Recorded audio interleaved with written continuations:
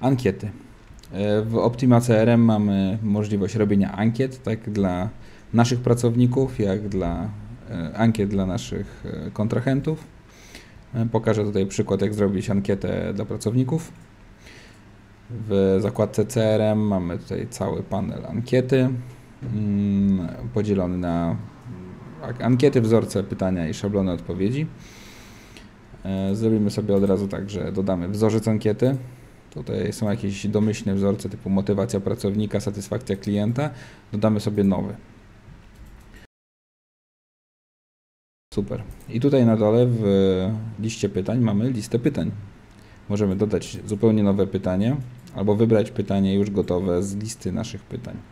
Większość z nich tutaj jest już przygotowana wcześniej z domyślnymi pytaniami z Optimy.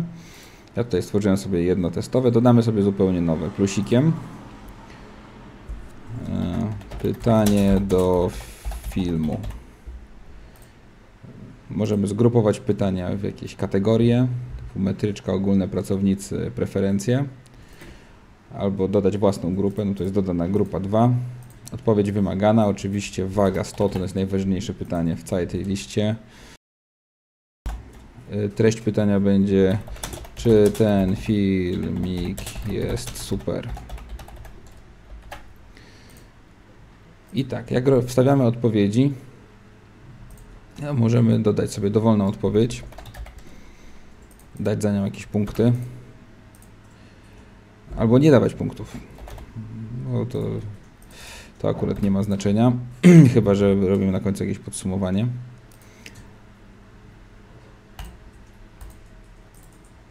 Opcja inne, żeby ktoś mógł sobie cokolwiek wpisać. I tak możemy dodawać oczywiście pytania dowolne, jakie tam wpadniemy na nie przy tworzeniu nowego pytania, a możemy tu z szablonu odpowiedzi wybrać sobie jakiś szablon odpowiedzi, na przykład właśnie skala 1 do 5. O, i mamy jak bardzo podoba Ci się ten film. I człowiek może wybrać od 1 do 5 jak bardzo. Super.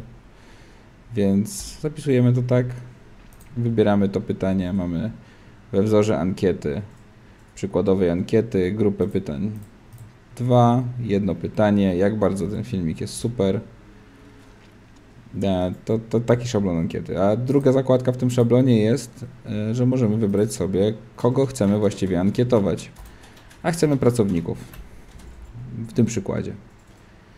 E, więc wybierzemy sobie pracownika handlowiec 1. W zakładce 3 dokumenty pojawią się dodatkowe dokumenty tej ankiety. Na razie tam nic nie wstawiamy, więc mamy nazwę ankiety, jakie pytania, jakie grupy pytań mamy w tej ankiecie i kogo będziemy ankietować. Zapisujemy to i to jest wzór 1, przykładowa ankieta. Zaznaczamy sobie ptaszkiem i robimy generuj ankietę. I tutaj jest najciekawsze, co możemy zrobić. E, mamy datę, kiedy ankieta jest ważna, a także generuj działanie w CRM związane z ankietą i niech nam się w terminarzu w ogóle u naszego handlowca 1 pojawi. E, zadanie w terminarzu na jutro na 13.49.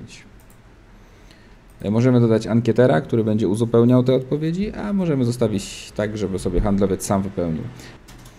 Przy generowaniu ankiet z wzorca na ankietera ustawiamy sobie operatora, który ma uzupełnić tą ankietę, czyli handlowca 1. Handlowiec sam sobie będzie ustawiał e, ustawiał e, oczywiście odpowiedzi.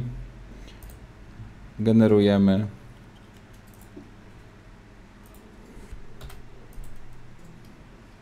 Zobaczymy w CRM-ie, w terminarzu. Proszę bardzo, jest jedna ankieta dla handlowca 1, jedna ankieta dla administratora. I gdy przelogujemy się na handlowca 1, będziemy mogli tą ankietę uzupełnić. Wchodzimy w nią z terminarza.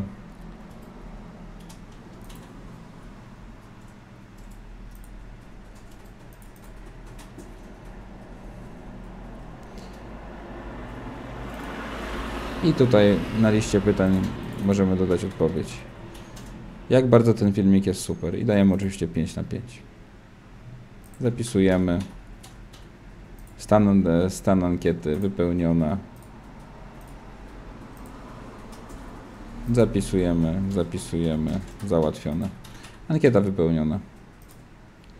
Potem e, w widoku ankiet możemy oczywiście sobie te ankiety wydrukować z odpowiedziami. Możemy wydrukować sobie puste, wchodząc po prostu w ankietę i robiąc tutaj wydruk, ankieta do wypełnienia albo ankieta wypełniona, gdy chcemy ręcznie wypełnić.